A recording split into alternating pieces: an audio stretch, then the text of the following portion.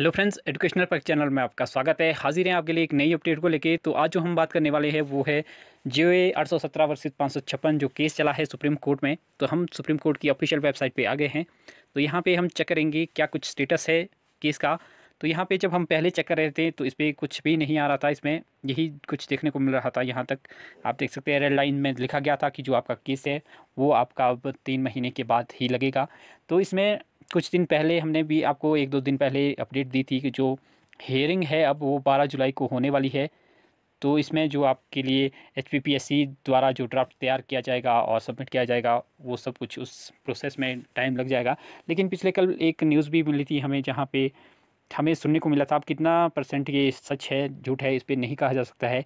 तो उसमें कहा गया था कि ये जो इनकी ओर से ड्राफ्ट है, वो तैयार करके सुप्रीम कोर्ट में जो सबमिट कर दिया गया है तो उसमें ही अब जब आज मैंने ये केस स्टेटस इसमें चेक किया तो इसमें पहले कुछ भी नहीं आ रहा था, यही आ रहा था, लेकिन आज में इसमें एक कंप्यूटर जनरेटेड डेट आ रही है। तो ये जो डेट है, आप देख सकते हैं यहाँ पे, ये उन्नीस चार दो हज़ार बाईस की है। इसमें आप देख सकते हैं टेंटेटिव डेट है ये। तो ये टेंटिवली केस में भी लिस्टेड ऑन उन्नीस चार दो हज़ार बाईस।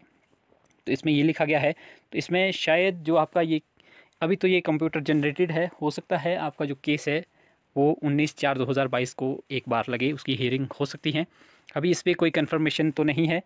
तो मैं आपको ये इस पर जो मैंने अभी चेक किया, उसके भी हाथ पे मैं ये बोल रहा हूँ। तो ये आप भी चेक कर सकते हैं। आप गूगल पे जाके हाई और सुप्रीम कोर्ट के स्टेटस सर्च कर सकते हैं। वहाँ पे आपको जो डायरी नंबर है इलेवन हंड्रेड वो पुट कर देना है और आप इस केस पे पहुँच जाएँगे। तो ये वही केस है, आप देख सकते हैं यहाँ पे अंकिता ठाकुर। के द्वारा जो किया गया है, इसमें और भी बहुत सारे लोग हैं और। तो ये अगर ये चौदह, ये आपका उन्नीस तारीख को अगर ये केस लग जाता है तो ये काफ़ी खुशखबरी होगी आठ सौ सत्रह के लिए, क्योंकि सभी इसका इंतज़ार कर रहे हैं, क्योंकि जो डेट की जो तारीख है, जो वो हियरिंग की, वो काफ़ी लेट कही जा रही है बारह जुलाई। तो अब देखते हैं, ये बारह जुलाई को ही लगता है या उससे पहले भी लगता है या कोई और अपडेट आती है, नहीं तो वो भी हम आपके साथ ज़रूर साझा करेंगे। तो मिलते हैं अगली अपडेट के साथ। वीडियो को लाइक कीजिए, चैनल को सब्सक्राइब करें। अगर अभी तक आपने हमारे चैनल को सब्सक्राइब नहीं किया है तो मिलते हैं अगली अपडेट के साथ। तब तक के लिए बाय